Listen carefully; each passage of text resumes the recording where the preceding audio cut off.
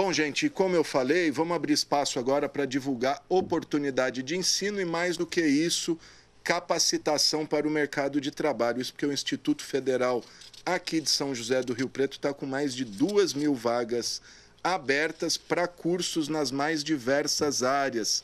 Lembrando, todos gratuitos.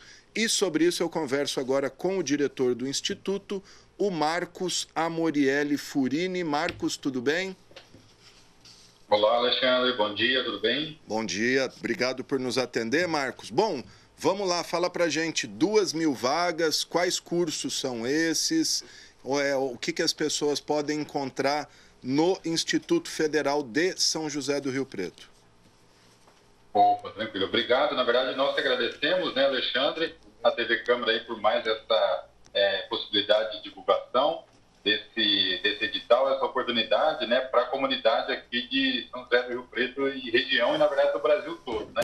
Então, como você falou, são é, 2 mil vagas, é, 2.065 vagas, na verdade, em 38 cursos nas mais diversas áreas de formação. São todos, como o Instituto Federal é uma instituição pública, federal gratuita, todos os cursos são gratuitos. Então, não há taxa de inscrição, não há taxa de regulamentaridade, ou seja, não há nada disso. É, e a população tem aí até o dia 22 de fevereiro, ou seja, a próxima terça-feira, para se inscrever. A inscrição é online, feita no nosso site, né, que é o sjp.issp.edu.br barra cursos. E nós temos cursos das mais diversas áreas, como eu citei. Aí a gente pode citar na área da construção civil, por exemplo, curso de AutoCAD é, para desenho, né, ali das estruturas, CAD 3D. A gente tem também cursos na área de informática, voltada à informática básica, informática para idosos, informática para concursos públicos, Excel básico, Excel avançado, área mais específica, por exemplo, de programação em linguagem C, programação em Python. É, temos também cursos de línguas, de espanhol, inglês, Libras também para atendimento né, e conversação Também na área de é, instalações elétricas, energia fotovoltaica, a norma regulamentadora número 10 também, que regulamenta o serviço de eletricidade. Todos eles totalmente gratuitos. Alguns cursos também voltados para a formação de professores, como metodologias ativas, ensino híbrido, cultura afrodescendente, por aí vai. Então são muitos cursos, viu, Alexandre, que estão disponíveis aí para a comunidade. Que bacana. Ô, ô, Marcos, e esses cursos são o quê? São cursos rápidos, cursos técnicos?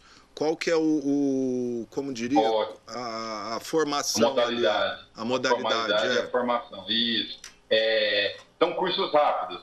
São cursos, nós chamamos esses cursos de formação inicial e continuada.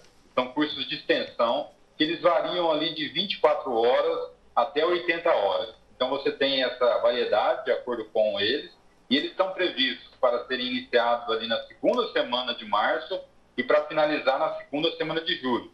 Então, eles vão acontecer toda essa formação ao longo desse primeiro semestre. Eles e já terminam. Né? Eu, eu, vi que a maioria das vagas são para EAD, né? ensino à distância. Pessoas Isso. fora de Rio Preto, até de outras localidades, talvez estados, podem participar Sim. ou é só morador de Rio Preto? Não, não, é, é aberto para qualquer pessoa, e principalmente esses que estão à distância. Nós tivemos, por exemplo, no, no semestre passado, é, estudantes do, do, do Amazonas, do Pará, Pernambuco. Então, assim, não há limitação porque as aulas são totalmente online. Agora, para os cursos presenciais, dentre esses 38, 13 são presenciais. Aí, claro que aí fica o compromisso do estudante que ele tem que toda semana né, comparecer às aulas aqui no Instituto Federal. Então aí fica um pouco mais restrito, é, mas depende do estudante, se ele se comprometer a vir aqui presencialmente, né? A assistir às aulas. O presencial é diariamente ou acho que é uma vez por semana que você acabou Não, de comentar? uma vez por semana.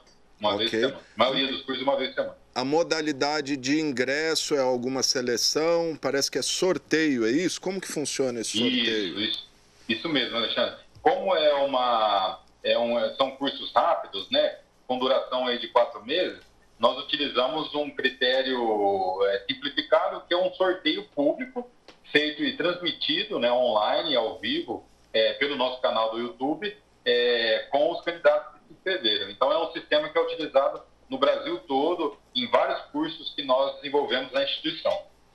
Muito bom. Ô Marcos, acho que é isso. Quer falar mais alguma coisa? O, o Instituto fica ali no, no, Jardim Congonhas, né? Ao lado ali, quase perto da CPFL, é isso, né? Isso, isso mesmo. Fica a, na, na rua paralela ali à CPFL, é, próximo ao aeroporto, é, próximo ao Unilago também, né? Isso. Então, a rua é a Doutor Eduardo Nilson, número 420. Então, a gente chama a atenção do pessoal em relação ao prazo, né, que é até o dia 22 aí de fevereiro, até terça-feira, e nos colocamos à disposição aqui, porque nós estamos também aqui atendendo presencialmente. Mas é. a inscrição é totalmente online. Quem quiser tirar dúvida também a gente está por aqui. Bacana. É, é o antigo Cefam aqui de Rio Preto, que foi cedido aí para o governo federal abrir o instituto. Vou repetir o site, está aí na, na tela, sjp.com ifsp.edu.br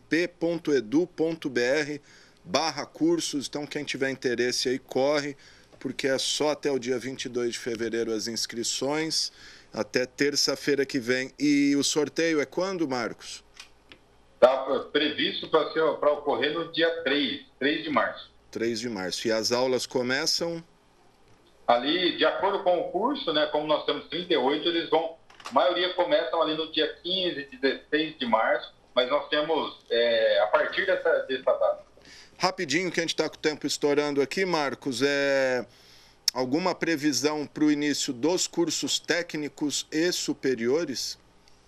Ótimo. Nós estamos com uma início dos cursos técnicos subsequentes, né, que são aqueles cursos no período noturno, no segundo semestre agora de 2022.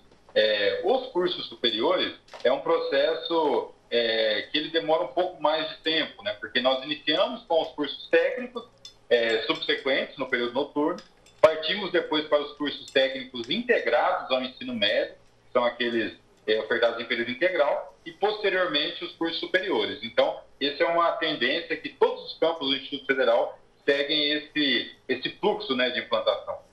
Muito bom. Assim que tiver novidades, só procurar a gente. TV Câmara sempre aqui disponível para divulgar é, esse tipo de oportunidade aí às pessoas, principalmente por ser um ensino público e gratuito. Marcos, agradeço aí, viu? Estamos sempre à disposição. Eu que agradeço, Alexandre. Grande abraço e ficamos à disposição. Maravilha, gente. Está aí o Marcos Fulini, diretor do Instituto Federal de São José do Rio Preto. Essa oportunidade aí para quem está buscando capacitação, melhor colocação no mercado de trabalho.